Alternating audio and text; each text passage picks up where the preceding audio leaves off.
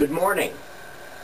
This morning we're going to show you how we prepare Belgian waffles.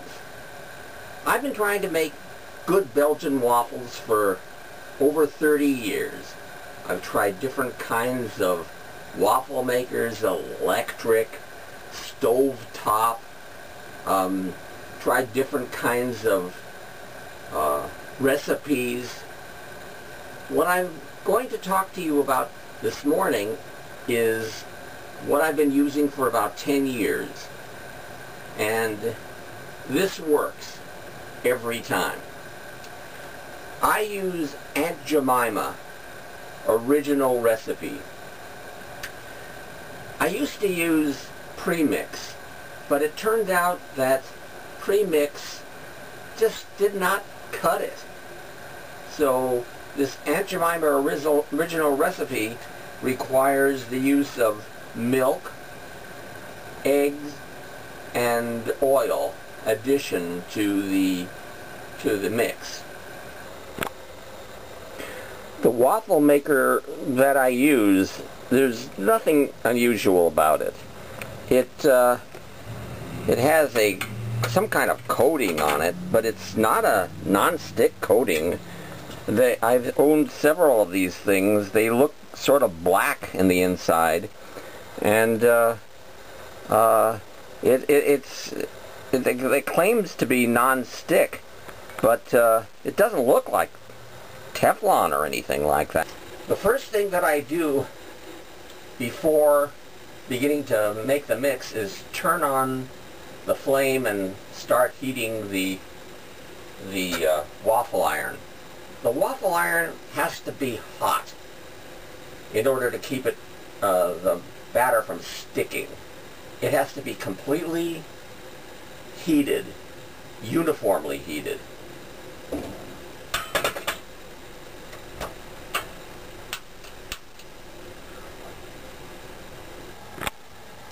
As you can see, the flame is not that high. It's uh, like a medium flame. Um,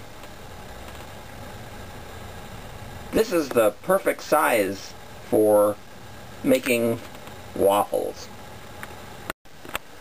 It takes several minutes, maybe 10 minutes, to properly heat up uh, this waffle iron and I rotate it about once every two minutes uh, in order to make sure that uh, it's uniformly heated.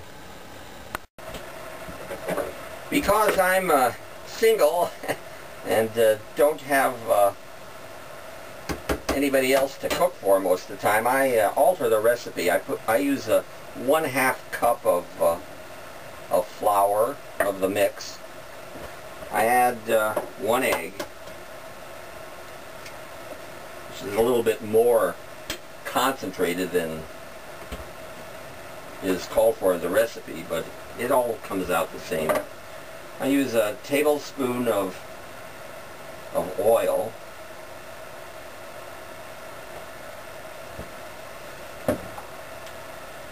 And then I add milk to get the proper consistency.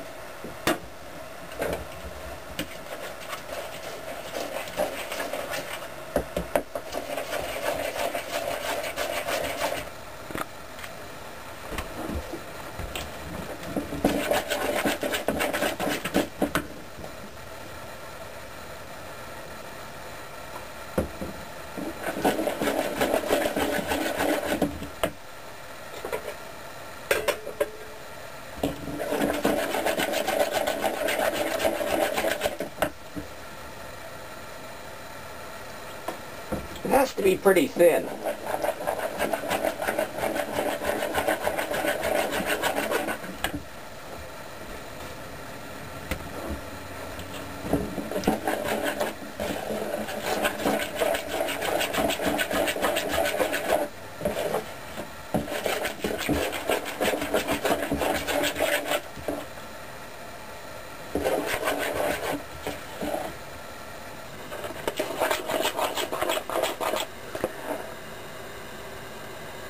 Comes off the spoon like this, and this consistency, I know that it's right.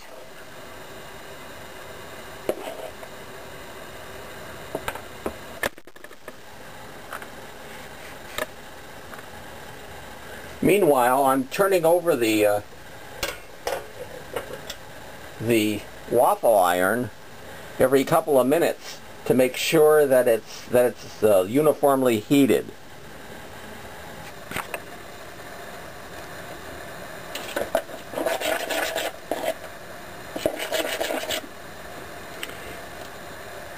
Now we're going to add the uh, the mixture to the waffle iron. It's important to to spread it apart, spread it around so that it's uh, it's covers uniformly but not too much. You don't want it to overflow. This is what it should look like. And immediately you close it and turn it over. Very important.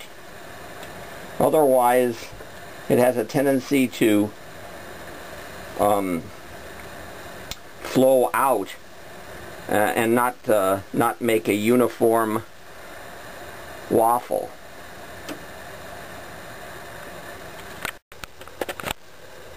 You see, this is the time. It's uh, about 8.43 uh, when we started baking the waffle. About every two minutes, I uh, turn over the waffle so it bakes uh, on both sides. There's a little uh, wire thing that keeps the the waffle maker closed because and it's very important that you have that securing the handle because otherwise the uh, the waffle mixture will raise up and it won't make contact inside the uh, the waffle maker completely. So we're turning it over about once every two minutes and it takes a long time to make a waffle. You'd be surprised. It might take 10 minutes. But I don't uh, look at the waffle to see how it's doing until it starts smelling right. You can sort of uh, tell when it starts to get done. And then I very carefully open it up and uh, open up the waffle just to take a peek at it. Open, uh, up the waffle maker to take a peek at it. But very carefully because if I open it up too soon, the, water, or the waffle will separate. Okay, about eight minutes has passed, nine minutes maybe, and uh, the waffle is smelling good, so we're going to take a peek at it.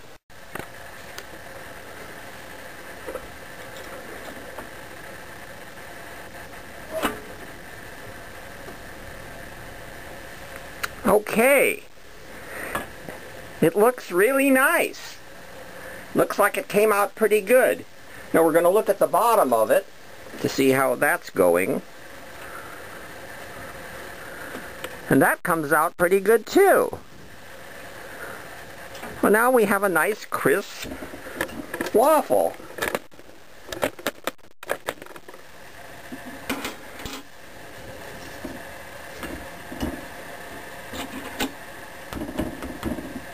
really nice.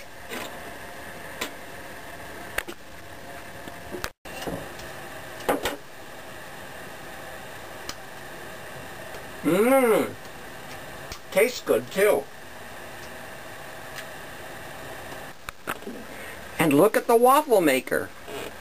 Nice and clean. Nothing stuck. By the way, I never use any detergent on the waffle maker. Uh, after removing any small pieces of, uh, uh, of waffle, uh, I might rinse it in clear water, let it dry, and then I put it away. That's about all I, that's the only maintenance that I do on it.